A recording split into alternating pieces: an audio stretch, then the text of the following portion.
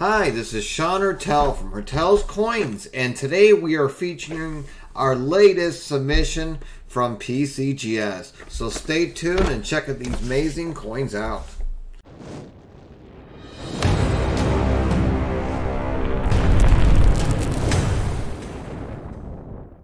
Today we're going to be looking at some PCGS uh, coins that were recently just graded in our little special 35th anniversary box that just came back from PCGS. Um, this is a regular submission. I believe there were 17 coins in there. Um, they range from uh, Carson City Morgan dollars to large cents. So let's check it out and hopefully we get some good coins out of this deal. First up, we got 1890 CC. This coin we originally had it graded. It was cracked out. This was came out of a an older uh, PCGS holder that was cleaned, and I was hoping to resubmit it to hopefully get in a straight grade holder. But unfortunately, it did not. It's still coming UNC detail clean, even though like it's still got beautiful like mirror finish fields on it. It's unfortunate they're calling it clean. So I'm probably going to take this one out and try it at NGC and see what they think because I haven't sent it to NGC yet. So hopefully we'll get something good news from NGC once we send it out. Next up, we got an 1878 Carson City Morgan dollar. Nice little white coin. Um, nice cartwheel luster on it. Back to. So this coin's definitely blast white, which is very nice for any collector type coin. And this one came back from PCGS as MS63. So very happy with this one. Next, we got some gold coins in the mix. This one, 1912, $10 gold Indian. Very, very flashy gold and very, very sharp. Amazing eye appeal. See a little couple scratches in the face or little nicks per se. But overall, amazing eye appeal. The reverse in this coin is absolutely gorgeous. Really like this one. This one came back PCGS MS64. So very nice. I'm probably going to send this one to CAC because it makes a huge price difference uh, with a CAC sticker on it. It's got the definite eye appeal to hopefully get a CAC sticker on it. Next we have a $1 gold piece. This is an 1889 $1 Princess gold piece. Very sharp coin. Nice little gold mint luster to it. And this one came back as a PCGS MS63. So good grade on this one.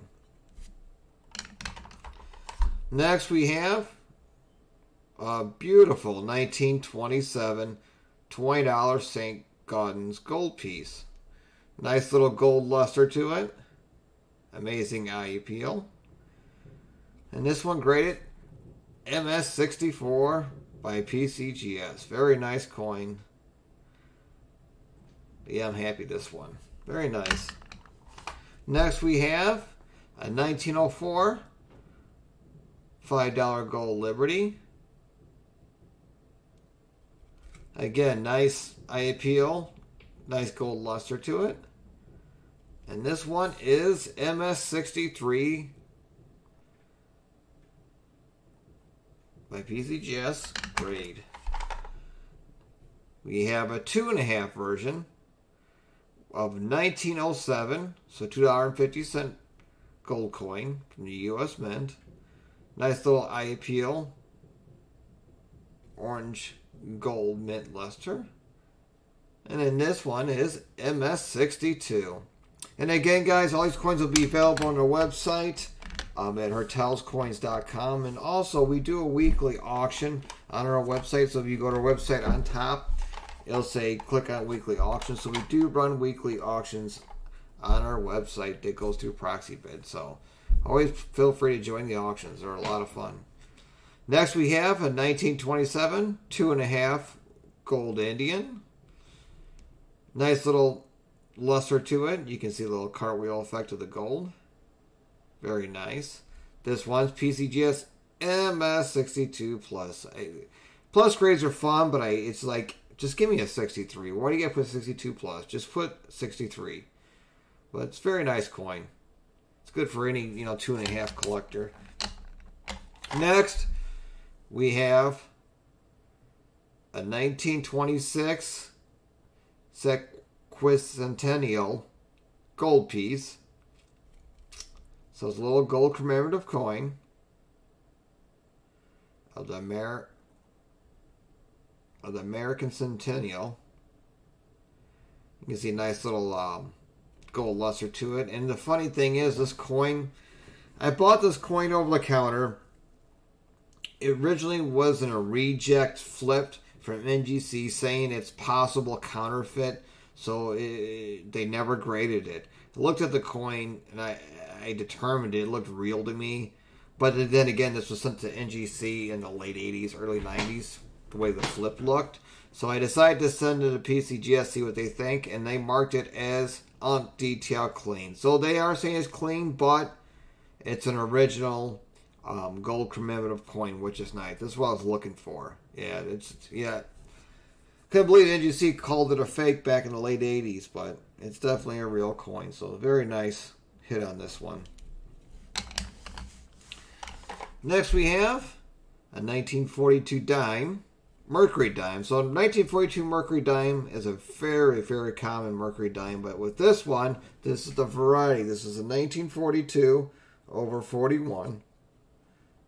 As you can see right here, you can see the one next to the two. So it's a two punched over a one. So it's the variety. The Philadelphia one, this came back, of course, PCGS XF40, so it came back in a straight grade. The Philadelphia one is easy to see with the naked eye. Um, if I have a a D mint, a Denver mint version of it, I'll just show you a close-up view because it's it's a lot harder to tell from the Denver one to the Philadelphia one. The Philadelphia variety you can see with your naked eye, where a Denver mint you really need a, a, a 10 power glass to see if it's a 42 over 41. But then again, this is a nice investment grade piece, XF40, nice grade. So yeah, very nice. Next, we have one of Carson City Kings. We have an 1889 CC Morgan dollar. Very nice original color. Um, a lot of times you see these CCs in straight gate holders and they look almost clean. But this has got the nice original patina to it. Very beautiful coin for Carson City in the circulated condition. And this one came back in a fine 12, so very happy with this one. Very nice collector piece here. Next, we had a couple 1877 Indians. I knew there was problems with these, but I like to send them off to get them in a holder saying they're genuine, just for the customers. Um, there's no questions, just because 1877 Indian is one of the most counterfeited Indians out there, and when the customers purchase these, they know they're purchasing a genuine piece. So this is this one here was VG detail, environmental damage. So there are pittings and things like that in it.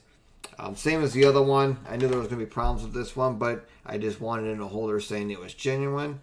So this one, again, a little bit better condition, as in wear, but you can see a couple scratches in it.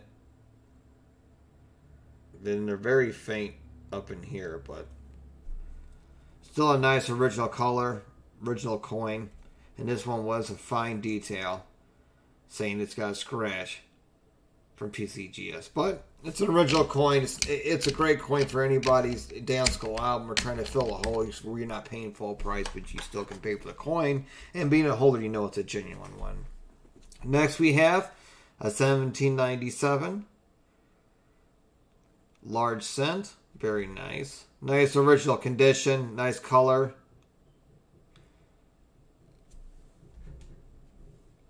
So very happy with this one. And this one came back in a VG10 grade. And this is the stems variety. So if you look on the bottom of the wreath, you can see the two stems poking out on the sides. So yeah, so it's nice to get an early, late, I mean, it's late 1700s um, U.S. type coin that is not environmental damage or scratching like that. It's nice to have something in original uh, type of condition. So very nice coin here.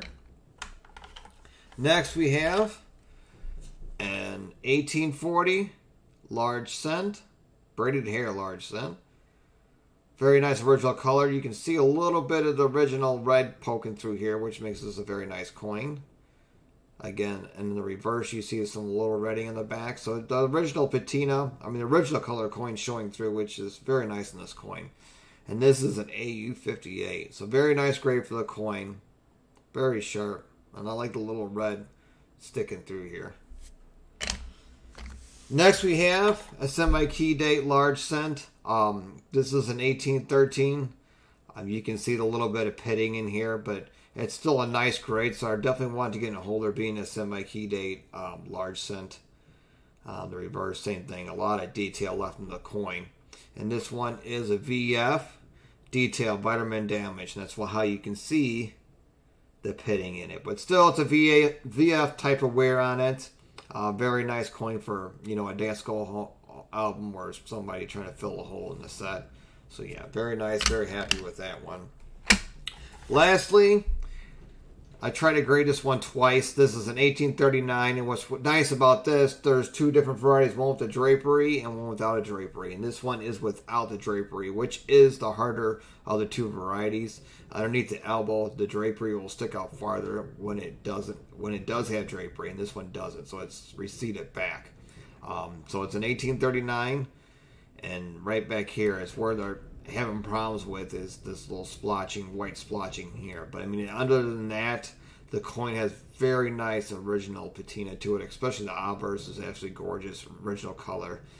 But they're calling it VF detail being clean, and I'm pretty sure it's because of this white spot in the back, because somebody rubbed it at one time. But other than that, very nice coin. The front is dead set original color, very nice. Um, so very nice early date, um, harder to find variety for a type coin. And lastly, I guess PCGSs are handing these out. Some 35th anniversary PCGS.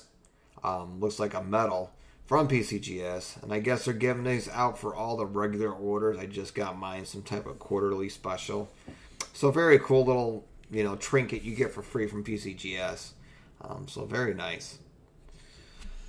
Well, that's it for today. I hope you enjoyed the video. Um, these coins will be available on our website, hertelscoins.com. Please check them out. You're always welcome to send us an email if you have any questions.